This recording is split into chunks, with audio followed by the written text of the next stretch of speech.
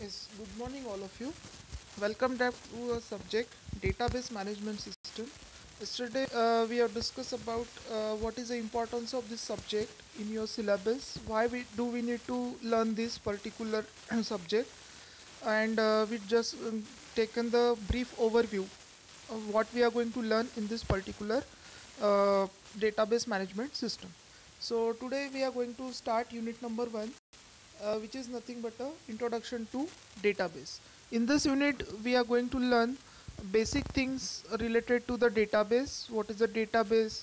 What are the applications of database types of database architecture uh, users approaches er diagram sql so these are all the things that we are going to cover in unit number 1 so now we'll start from very basic that what is data what is information what is database and dbms so here you can see a simple diagram. Uh, here you can see a data is integral part of this database management system. First of all there will be a data then top of the data there will be a information. Top of that there will be a database and on the top uh, dbms and at the very top you will find user. User is present top of the database. Okay. So very first thing we'll start basic. What is data? So data is nothing but a collection of facts and figure. Okay collection of facts and figure. So here we have both the things data as well as the information. So what is the difference between data and information? See data is simply a raw material and information is nothing but a product when you process the data in appropriate manner it becomes a information. See i will give a simple example. Suppose i tell you about uh, Yashwant Kanitkar then Tata McGraw Hill and 500 so you will not understand. Maybe few student may understand Yashwant Kanitkar is the name of the author. Uh, TMH is a Tata McGraw Hill is a publication. 500 may be a page number. But suppose this data is gi uh, given to particular uh, student of fifth standard. Whether he understand no. Uh, he will he or she will not able to understand. But suppose I represent the data in appropriate tabular format where column name is author under which I have written Yashwant Kanitkar and second column is what a uh, uh, publication that is Tata McGraw Hill. And third one is pages number of pages. So it is 500 so anybody can understand. That means when you represent a data in appropriate format it becomes a information. So your data is a raw material. When you process it when you represent it in appropriate manner it becomes a information. And this thing we are going to keep in our database. Now next thing is that uh, database. How can you define a database? See here i want to tell you that uh, you may find different different definition you refer different books. Here I have given a simple definition. What is database? How can you define a database? Database simply is a collection of interrelated data that is used by various users and application. So in this case what is important? Interrelated. This word is very important. Interrelated means what as you are keeping a data in a single table so there should be some relation between that. It is not a case that you are keeping all the data in a single table. Uh, as I, I, will give a real life example to you. Uh, what is a common thing all of you why all of you are uh, listening this particular lecture? Why? What is a common thing? The common thing is that you all are belongs to fifth semester CSE and you are learning a subject database management system. So fifth semester is a common thing. Uh, that's why you all are belong to this particular class. In our department we have second year third year and final year. But we are not allowed to uh, sit all the student in a single class. Why? Because no common thing among though the department is common but i'm talking about conduction of a lecture so separately second year lecture is going on final year lecture is uh, going on third year lecture is going on. So uh, why you are attending this? Because you belongs to fifth semester. That means there should be some relation.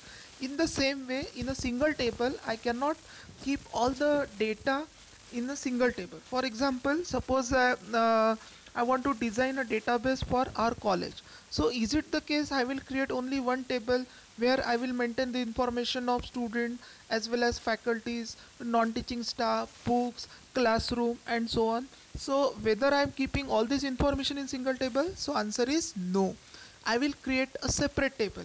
I'll create one table for student, I'll create one table for faculty, I'll create one table for uh, books, I will create one uh, table for infrastructure. That means I will make a group. But while making a group, what is a common? Some feature should be there which is common among all. So that is the thing. Whenever you are keeping a data in a single table, there should be a some relationship between them. Between them. Then and then you can keep this data that's why this word is important it's a collection of interrelated data and who is going to use that data or information it is being either used by a particular application or it is being used by the user so this is what a simple definition of database now next thing is dbms so do you think that dbms is different from database? Yes. Uh, dbms is just like a operating system. What is the role of operating system? Without operating system can we use hardware? No. So in the same way we can say that your DBMS is nothing but a operating system which help us to use a database without operating system we cannot use hardware in the same way without DBMS we cannot use a database so DBMS stands for database management system so we can say that it's a tool that is dedicated to manage a database DBMS allow us to perform various operations on the database. So what are the basic operations that we perform on the database? So we can perform insert, update and delete. These are the three basic operations that we perform on the database. But who allows us to perform this operation on the database? So the answer is DBMS. So uh, most of the time that question will be asked whether Oracle is a database or DBMS or both. So the answer is both because Oracle is database also and DBMS also. Without DBMS you cannot use database. Okay. So I hope uh, it is clear to all what is data, what is information, what is database and what is DBMS. Now we are moving to next topic, history of a database. How database comes into existence? Before database what are the uh, technology will be there that is used to store data? So during uh, year of 1960s flat files are used okay? Just file just like a word file notepad files were used to store a data. Okay? But uh, storing a data in a file may have n number of drawbacks that we are going to discuss in next slide. Uh, so n number of drawbacks are there while keeping your data in a file. So in order to overcome that particular drawbacks a new concept comes.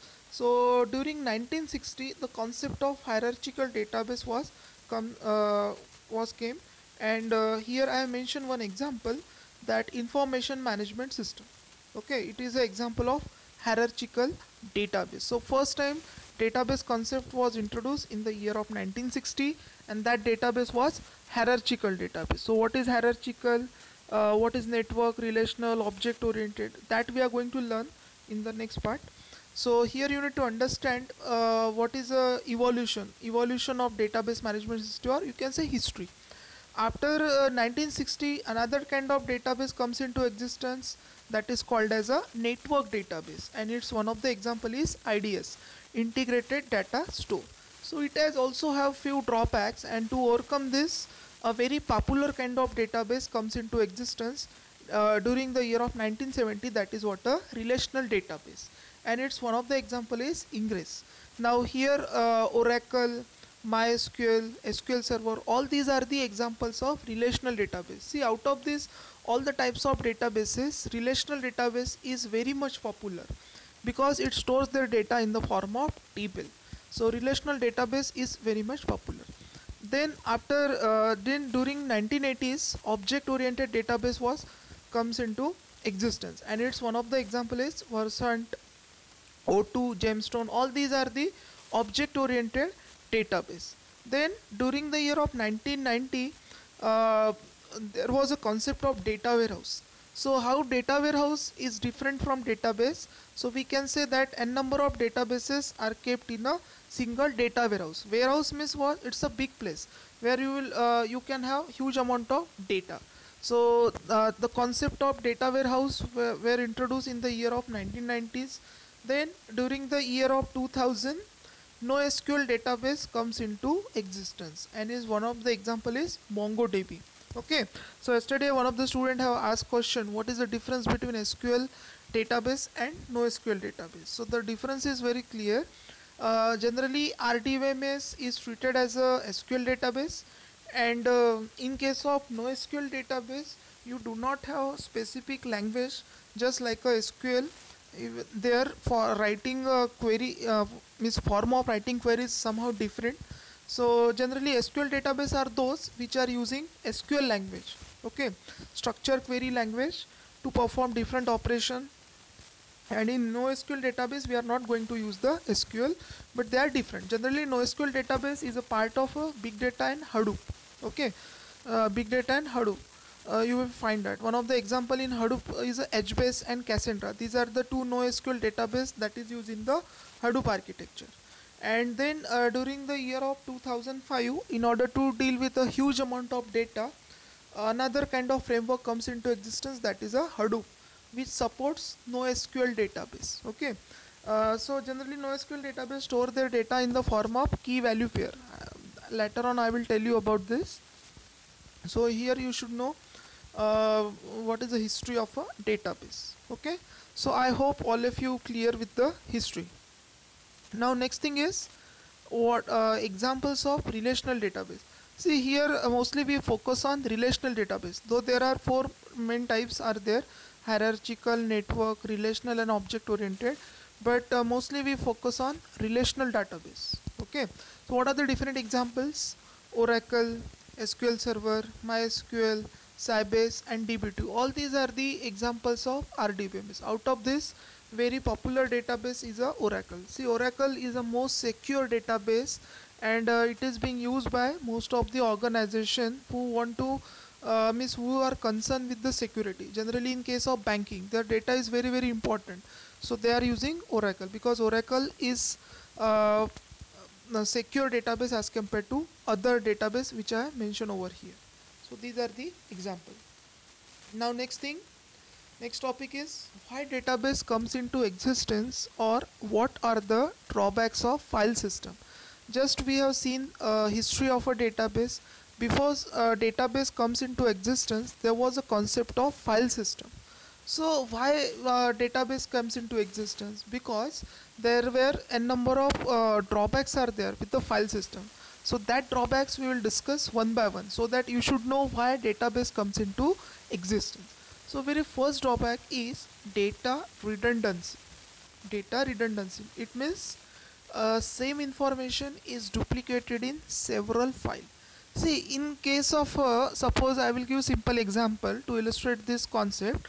Uh, suppose uh, you want to store your data in a simple word file in that case uh, suppose you have written uh, student name means suppose I want to in, uh, maintain a information of the student. Roll number name branch email id and so on. So i have just stored one student information